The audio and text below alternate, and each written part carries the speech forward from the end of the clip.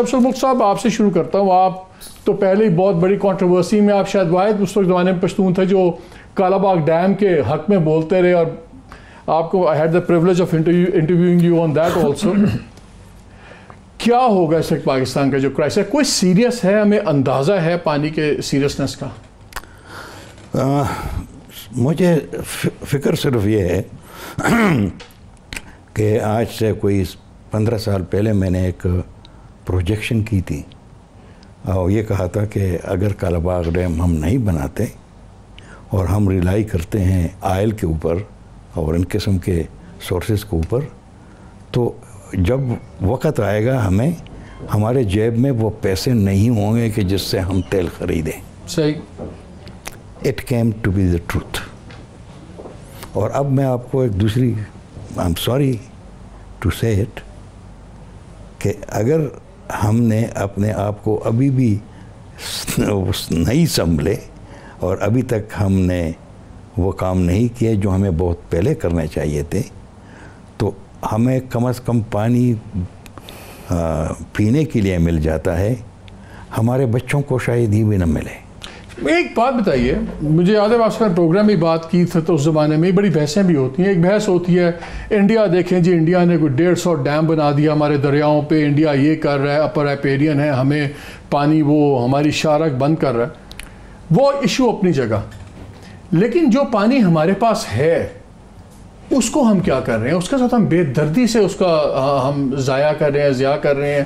Irrigation system ہمارا خراب ہے ہم نے کوئی پلانٹس نہیں لگائے۔ ہم اس کو کیا کر رہے ہیں؟ دیکھیں ہندوستان نے ہمارے ساتھ بڑا اچھا وہ گیم پلے کیا ہے۔ کچھ تو وہ جو کچھ کر سکتے تھے وہ کیا ہے۔ پھر Indian lobbies are very strong in Pakistan in Pakistan in Pakistan they very strong and the Indian lobbies have not I mean in fact made it impossible for anybody to do anything like like جس آپ کہتے ہیں Kala Bagh dam نہیں بنا یہ چیزیں یہ Indian lobbies نے انشور کیا کہ نہ بالکل بالکل اگر اس میں آپ کو شک ہے تو میرا خیال میں یہ تو آپ کو شک نہیں ہونا چاہیے۔ میں آپ کو بتاؤں میں نام نہیں لوں گا کسی کا لیکن اس نے مجھے بہت پہلے بہت پہلے نہیں ایک سال پہلے کہا تھا۔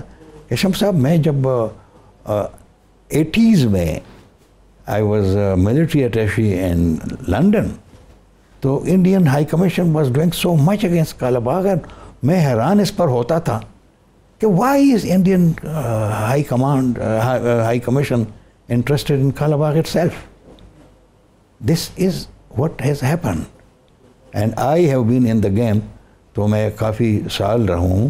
میں نے سب کو لوگوں کے ساتھ باتیں بھی ہوئی ہیں. ان کے جو واضح بات، وہ جوابات سوالات ہوتے تھے یا جوابات ہوتے تھے، تو وہ ایسے ہوتے تھے کہ I could see for example for example K P K میں جو final the top most people who are opposing it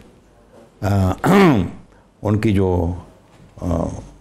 answer تھی، شام صاحب آئے، بڑی اچھی بریفنگ انہوں نے کی ہمیں بڑے بہت سی چیزیں ہماری سمجھ میں آ گئیں۔ لیکن اگر وہ یہ بھی پروو کرتے کہ Kalabagh is gold we are not the buyers these are not my words at all these are the words of those people Wali Khan I don't want to not very far from him but آپ نے privilege رکھی ہے مجھے یاد ہے آپ نے یہ بات سنائی تھی بڑے سال پہلے اس لیے مجھے یاد پڑتی ہے۔